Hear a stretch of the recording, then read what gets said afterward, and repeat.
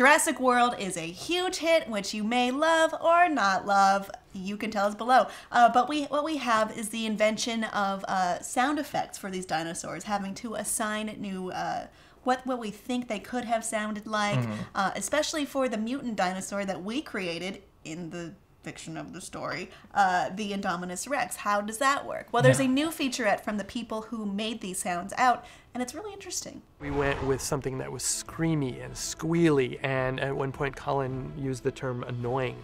You know, you just want this thing, to, uh, you hate it.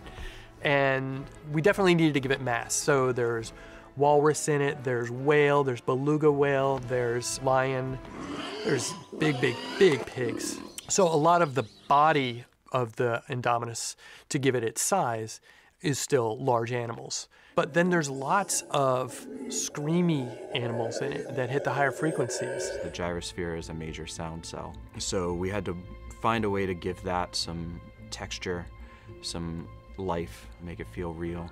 So I did a lot of glass recordings. One of the things I did was I took a glass carboy, big five gallon jar, and put a microphone inside, but because I wanted to spin it and I can't have a cable off the end that's getting tangled, I put it on a potter's wheel so that it would spin. and we set up this outdoor pit of wood chips and different branches and things and we had Benny Burtt one of our foley effects editors go out and act like a raptor we took these dpa mics and we attached them to his feet and then we had myself and Nia Hansen and Scott Guitteau all out with recorders chasing Benny around as he ran around like a raptor. So that was interesting. Andy Burtt uh, was a velociraptor running around in the hay. It's not as uh, I didn't his terrifying when you see this. Yeah, just for fun. I like the head shifts. Yeah. Even though we couldn't probably hear that, uh, Yeah, I it's not actually- the commitment to the role. It's not the producer running around like a raptor that you have to worry about. It's the other producers running around like raptors that you didn't even know were there. the other three raptors. Yes. Yes. There's some other guy in the woods. for life. Um, And then we have yeah, it's it's it's it's interesting to see how they how do they come up with these things like with Mm-hmm. the rolling glass or glass like sphere. Uh, it's like how do we record this? You know, there's going to get a, a cable in the way. If we hold it a certain way, it's it needs to sound like something that is round but also made out Mm-hmm. of this material.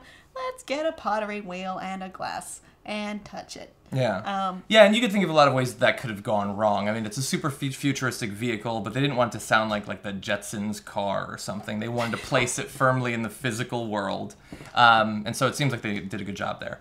I would like to hear the Jetsons car personally. uh, it's a really interesting uh, featurette from Soundworks, the Soundworks collection. Uh, I do recommend checking it out. It's interesting to see how they came up with these effects because because Jurassic Park basically decided how dinosaurs sound. Now we do have some idea of how dinosaurs could have sounded based on physiology.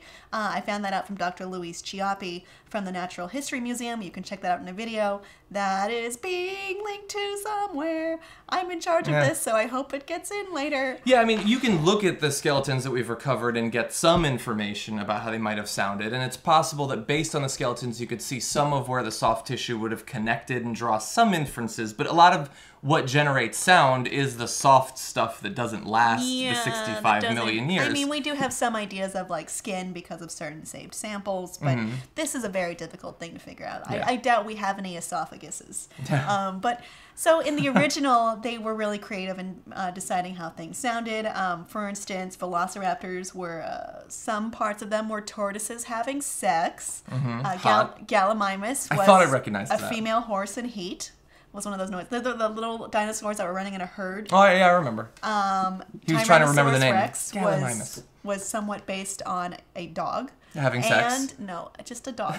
and a baby elephant who wasn't having a sex because it was. Yeah, I was gonna say they sounded pretty pervy for a while. I like the combination of the different animals that they had to employ to produce the Indominus Rex. Pig. I always I still find it pretty ridiculous that they're like the fake one that we made up when every single dinosaur in Jurassic Park is made up. They're all. They're I all mean, and then if DNA you think hybrids, about even in the logic of the story, they're not they're they're monsters. They're not Yeah, they're necessarily not actually dinosaurs. recreations of dinosaurs. Exactly. they take the the toad DNA to fill in the holes. I remember that promotional video. Uh, I was paying attention. Hello, John. in Um, dinosaurs. exactly. Uh, that whole scene never made any sense to me. Is he literally going to be standing there doing the presentation for every tour group? That doesn't that doesn't make any sense. Um, I think though, uh, it's it's great that they put the amount of thought that they did, not just in Jurassic World, but historically throughout the franchise. Uh, the the visual effects have always been on the cutting edge, and if the sound effects didn't didn't stand up to that or didn't match that, it would have been easy to take people out of out of the uh, like we all we all see the little ripples in the cup of water, but it's the actual the physical reality of the sound as well. That's what's so horrifying. Um, so they did a great job on that. The very iconic Tyrannosaurus uh, roar. Uh, everybody can that remember what that sounds like. like a hero, and Yeah. we remember that. We have that nostalgic part of our brain. I think, and you know that you must go faster. paid we a lot it. of paid many moments of homage to the original Jurassic Park, and Mm. that's just one of them. And I think that was a smart move because it occupies, I think, a nostalgic and and a happy part of our brains. At least Yeah. those of us who watched the original as children. First movie I ever saw twice in theaters.